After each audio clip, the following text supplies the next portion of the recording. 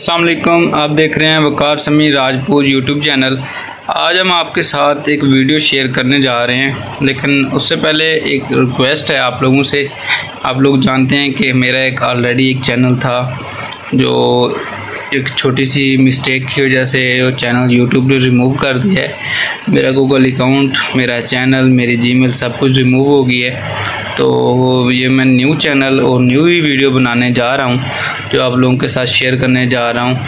तो आप लोगों से रिक्वेस्ट है कि चैनल को ज़्यादा से ज़्यादा सब्सक्राइब करें शेयर करें और अपने दोस्तों तक इस वीडियो को पहुंचाएँ ताकि ज़्यादा से ज़्यादा फ़ायदा हासिल कर सकें। सेकंड हम आपके साथ जो वीडियो शेयर करने जा रहे हैं ना, जो आजकल गर्मी की वजह से लोगों के फेस के ऊपर एक्नी यानी पिंपल निकले हुए हैं और कुछ स्किन्स होती हैं आयली उन एक्नी और आयली स्किन को ख़त्म करने के लिए हम कौन सा सोप यूज़ कर सकते हैं?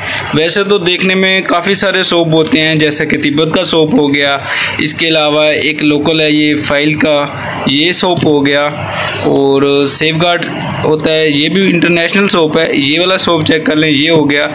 और फोर्थ नंबर पे हम लेके आ रहे हैं कैप्री कैप्री वाला जो सोप है, ये सबसे बेस्ट सोप है, क्योंकि इसके अंदर मिल्क ऑयल और हनी यानी शहद, ये मिक्स होता है। ये जिस तरह हमारे स्किन को क्लियरनेस देता है ऑयली ख़त्म करता है ऑयली स्किन को बिल्कुल क्लियर कर देता है, और मेन चीज़ जो हमारे स्किन के ऊपर होते हैं एक्नी दाग, धब्बे और छाइयाँ होती हैं।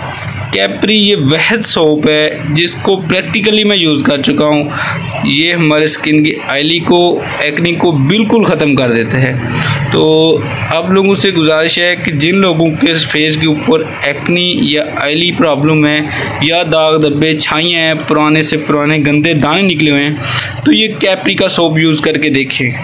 इन इनशाला बहुत ही जल्द आपका फेस बहुत ही जल्द इनशाला आपका फेस क्लियर हो जाएगा। वाइटनिंग और ऐसा फेस फील होगा आपको जैसा बिल्कुल तरोताज़ा अर्क गुलाब से धोया हो।